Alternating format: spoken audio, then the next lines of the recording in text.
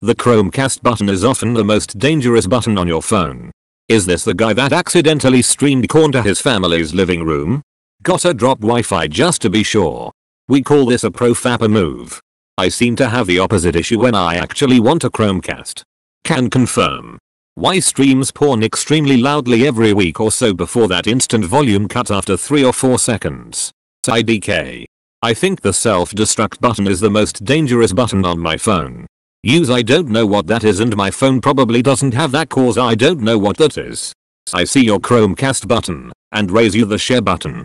My first step is always swipe down, turn off Wi-Fi and Bluetooth, even if I'm completely alone. Never happened and probably never will. Ugh. I cannot stand how people can connect to my TV hotel room TVs without my permission. Gently cast to the TV in your room or have your phone decide to randomly cast to someone else's TV.